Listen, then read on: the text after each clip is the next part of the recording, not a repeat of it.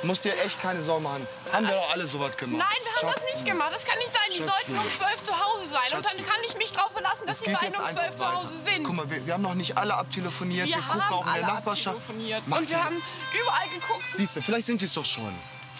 Das ist Melanie, glaube ich. Melanie, ja, vielleicht weiß sie ja, wo die Mädels sind. Melanie! Hallo? Ja. Wir suchen die beiden. Ja, ja. Und? Ein Beachclub, was haben Sie denn da gemacht? Okay, Melanie, danke, wir fahren da sofort hin. Okay, wir fahren dahin, danke, danke. Ja, Vom Beachclub, Danke, ja? dass du dich gemeldet hast. Tschüss. Ja, super. Ein Was machen die denn beim Beachclub? Ich habe keine Äh, Ahnung, das war nicht so ausgemacht. Nee, das kann ja nicht. Also dann, äh, da würde ich sagen, Warte, warte, warte, warte. Mann. Aber siehst du, sind Warte, wieder ich da. habe eine Nachricht von, von Kira, warte. Mama, könnt ihr bitte uns ganz schnell abholen? Wir sind noch am Beachclub. Scheiße. War das, war, war, war, war das ein Autounfall?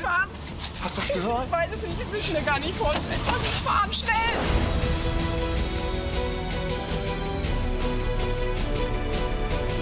Jetzt auf Streife die Spezialisten.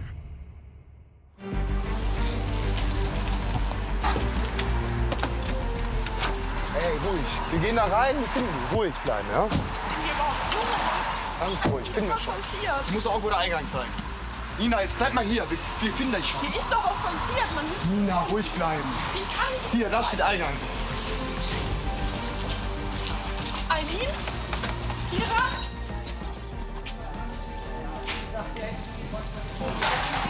Hallo? Entschuldigung, wir suchen unsere Tochter. Was ist... Sandra. Also sie spricht die ganze Zeit von zwei Nein, nein, nein, das ist eine Freundin unserer Tochter. Das ist eine Freundin, wir suchen uns von das ist ihre Freundin. Ja, hallo. Wir sind hierher gerufen worden äh, zur Begleitung der Polizei. Es war eine Schlägerei gemeldet für eventuelle Verletzte. Und wir trafen am Einsatzort eine 18-jährige Sandra an, ähm, die mit der Schlägerei aber nicht wirklich was zu tun hatte, sondern schwer alkoholisiert war. Das angetrunkene Mädchen war mit den beiden Töchtern des Paares auf einer Privatparty. Die Schwestern sollten um Mitternacht wieder zu Hause sein. Doch am frühen Morgen fanden die Eltern die Betten ihrer Kinder leer vor. Sie sind die Eltern von ihr? Oh nein. Eileen und Kira sind unsere Töchter. Die sind gestern nicht nach Hause gekommen und wir haben eine Nachricht gekriegt, dass sie hier im Club sind. Okay. Und sie waren mit Sandra unterwegs. Sandra, kannst du uns ein bisschen helfen? Sandra, wo sind Eileen und Kira? Weiß ich nicht, die sind mit so einem Kerl weggegangen. Was für ein. Kerl? Das sind Kerl. Was Weiß für ich ein Kerl? nicht, dunkel, Haare dunkel. Und wo sind sie? Was Ja, sie ist auch nicht mehr wirklich da. Ne? Sie hat schon Haben einiges denn was getrunken. genommen? Hat sie was, hat sie was genommen? Sagt Wodka Energy. Sie sagt ne? Wodka Energy, aber die haben hier fleißig gefeiert. Die letzten haben sie gerade hier rausgekehrt. Also wir nehmen sie jetzt auch mit. Also ich glaube, ich gebe Ihnen mal die Tasche. Ja. Ja? So, Sandra, soll ich deine Mutter anrufen? Die haben sich natürlich inzwischen alle aufgelöst, sind alle weg. Also es waren sie keine, keine anderen Mädchen irgendwie in ihrem Alter, die da irgendwie auch Wir, was haben kein, wir versuchen haben. gerade an Informationen zu Ja, kommen. Sandra über kann sie. uns nicht wirklich viel sagen, außer dass die zwei Mädchen mit einem älteren äh, Jungen weggegangen sind. Ah, okay. Die haben wir nach Hause geschickt, die konnten jetzt nichts dazu beitragen. Aber sie ist auch jetzt nicht mehr fit. So wirklich ist da nicht mehr. Ruf deine Mutter an, Sandra. Ja, genau. Einmal die Zug. Und wir Süßen gehen jetzt mal ins Das Auto. wird wieder, das wird wieder. Ganz ruhig. Da? Hey, unsere Mädchen tauchen wieder auf, ja? Ja, du. Der- ich mir mitgenommen habe. in- Ey, ich mach, Schatzi, ich mach mir auch Sorgen. Die finden wir wieder, hey. Hey. Doch schon wie Sandra da liegen. Ja. Wo sollen die denn sein? Die sind doch eigentlich zuverlässig. Du kennst sie beide. Dass sie sich nicht bei uns gemeldet haben. Das ist kein gutes. Zeichen. Ich habe so eine Angst, dass die beiden von irgendeinem Typen. Ich will es mir gar nicht ausmalen. Wir hätten die beiden nie weglassen dürfen. Seit neun Stunden sind die 16 und 18 Jahre alten Schwestern verschwunden. Die Eltern befürchten, dass ihren beiden Töchtern etwas passiert ist. Polizeihauptkommissar Klaus Wiebel und sein Kollege informieren deshalb die Leitstelle über das Verschwinden der Schwestern. Ich fahre jetzt mit der Sandra ins Krankenhaus. Hören Ich, ich rufe ihre Mutter. Ja, sagen, genau. Soll, ich komme mit Sandra, dann ist sie nicht allein. Nein, das brauchen Sie nicht. Sie können mit Ihrem Mann hier bleiben. In Ordnung? Ja, versuchen Sie sich aber ein bisschen zu beruhigen. Okay? Ja. Ich weiß, um Gottes Willen. Ich kann das vollkommen nachvollziehen. Aber bitte, ja? Alle Kraft jetzt in die Suche der Kinder und wir kümmern uns um Sandra, keine Angst. Und suchen Sie auch, ja? Ja, alles wird gemacht. Die Kollegen von der Polizei schalten jetzt alles ein.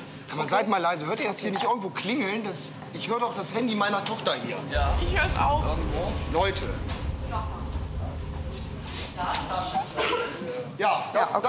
das, das ist die Handtasche von meiner Tochter. Ja, ist sie das? Dann schauen Sie bitte mal rein.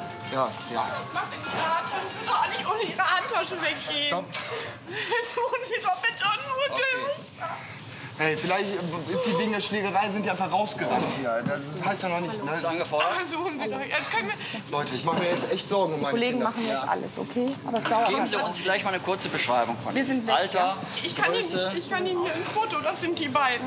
Ja, Kira ist 16, Okay, Aline 18. okay. Ich kann mir gar nicht vorstellen, was alles passiert sein könnte. Und es passt nicht zu Ihnen. Sie sind zuverlässig. Sie sind immer pünktlich zu Hause, wenn wir das ausmachen. Und es ist einfach furchtbar, weil Sie sind alles, was wir haben. Die Töchter könnten in der Gewalt des Fremden oder verletzt sein. Die Polizisten fordern daher weitere Ersthelfer an. Zudem soll ein Spürhund nach den Mädchen suchen. Doch die Eltern halten es nicht aus, auf das Eintreffen der Spezialisten zu warten.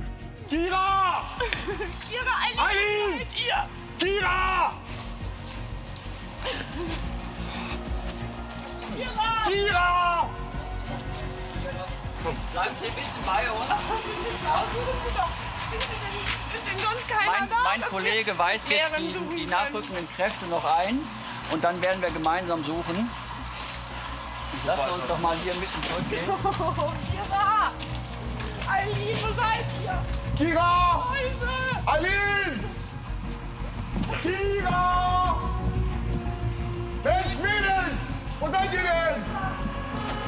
Wenige Minuten später erreicht Einsatzleiter Alexander Hedkamp mit den Sanitätern den Beachclub am Rande der Stadt.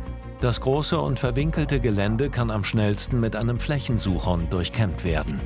Klaus Wiebel informiert die Kollegen. Zwei junge Mädchen, einer von minderjährig, könnten sich hier auf dem Gelände irgendwo verstecken bzw. werden irgendwie festgehalten. Also wir müssen das alles auf links drehen hier. Ja? klar Gefahren im Gelände, die wir kennen? Nicht, nichts auskundig bekannt. Ist hier irgendwas im Gefahrenbereich irgendwo in der Nähe? Nicht bekannt. Alles klar. Okay, dann dann würde ich ich sagen, an die Arbeit. Kira! Aline! Überall mal reingehen und auch schauen. Kira! Aline! Wo seid ihr? Er was? Hat er was? Nee, hat er nicht. Hat er nicht.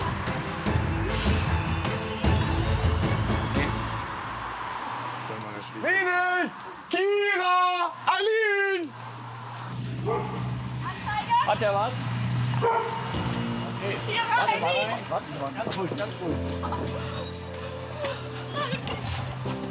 Okay, die Rettungskollegen. Das ist Aline. Mal- Aline, was ist los? Dani, Janis, Was ist los?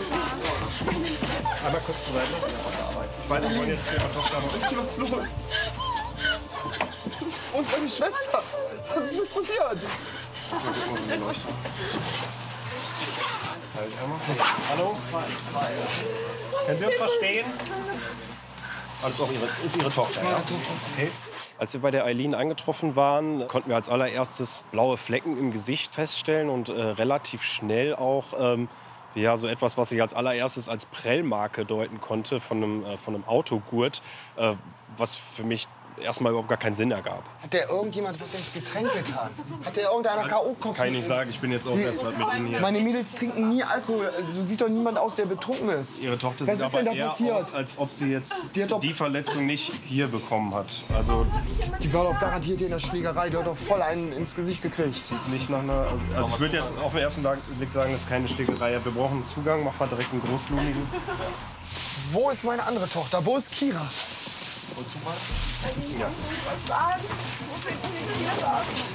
Wo sind die? Schatz, kommst du alleine klar hier? Ich, ich, komm Ich such rein. weiter, ja? Ich suche bitte und finde sie.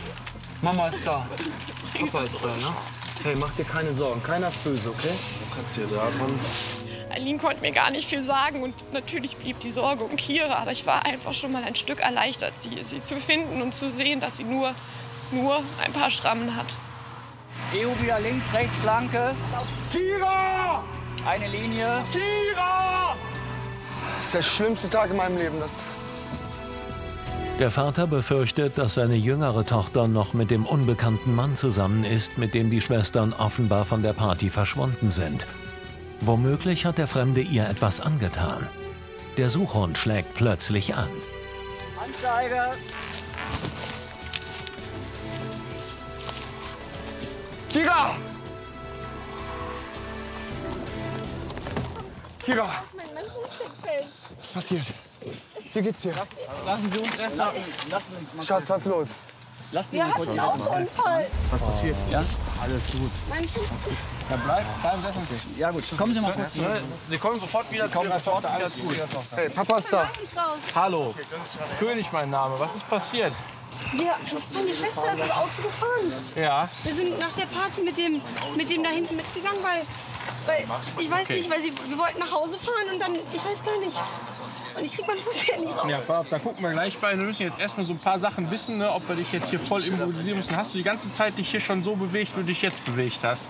Ich habe versucht, mich wenig zu bewegen, weil ich habe einfach Ja. nicht rausbekommen. Hast du Schmerzen im, im Halsbereich oder irgendwo? Gar nicht. Okay, super. Jetzt tut nur der Fuß weh, ja? Du, Zentral. Die 16-Jährige könnte sich bei dem Aufprall den Unterschenkel verletzt haben. Sie erzählt ihrem Vater, dass sie den jungen Mann auf der Party kennengelernt hatten und er ihre Schwester Eileen zum Autofahren überredete. Der Vater macht seiner Wut Luft. Hast du vielleicht selber Kinder? Weißt du, wie sich das anfühlt? Kannst du dir das vorstellen? Ey, mach dir mal Gedanken darüber, wenn du wieder nüchtern im Kopf bist. Das ist ja... Und die Kleine hat nicht mal einen Führerschein. Die kannst du nicht fahren lassen. Mann, ey. Der junge Mann, äh, Nico, wird sicherlich zur Rechenschaft gezogen äh, werden. Wir gehen davon aus, dass er vorsätzlich gehandelt hat, dass er das Mädchen betrunken gemacht hat. Also wir gehen davon aus, äh, dass er möglicherweise seine Fahrerlaubnis verliert. Ähm, wir haben ihn vorläufig festgenommen, werden ihm eine Blutprobe entnehmen. Wir haben sein Auto sichergestellt und äh, jetzt entscheidet der Staatsanwalt weiter. Ich bin einfach nur froh, dass ihr wieder da seid. Ja? Wir gibt hätten keinen Ärger. Es gibt sollen. keinen Ärger. Ich wollte einfach nur Kira, nach Hause, weil wir Kira. waren schon so spät dran. Und das mit dem Taxi hätte noch Jahre gedauert. Von einer Privatparty sich hierhin zu verirren, ist eine ganz andere Geschichte. Reden wir irgendwann mal drüber, aber nicht heute. Ja? Heute müssen wir nur nach Hause kommen. Okay? Hey, ja? Brauchst du keine Sorgen machen. Als ich dann später bei dem äh, PKW eintraf, ähm, ja, konnte ich auch direkt äh, mir ein Bild von äh, Kira machen, die auf, dem, auf der Rücksitzbank saß. Äh, sie wurde wohl durch den Aufprall ähm, ja, mit dem Kopf äh, auf die Rückenlehne des äh, Vordermanns geschleudert. Und ähm, ja, der Rücksitz ist auch nach hinten gepresst worden und hat dabei ähm, ja, eine Fraktur des linken Unterschenkels verursacht. Die Eileen wurde ähm, jetzt auf, bei einem ganz anderen Ort aufgefunden, ähm, als an dem Ort, wo das Auto stand.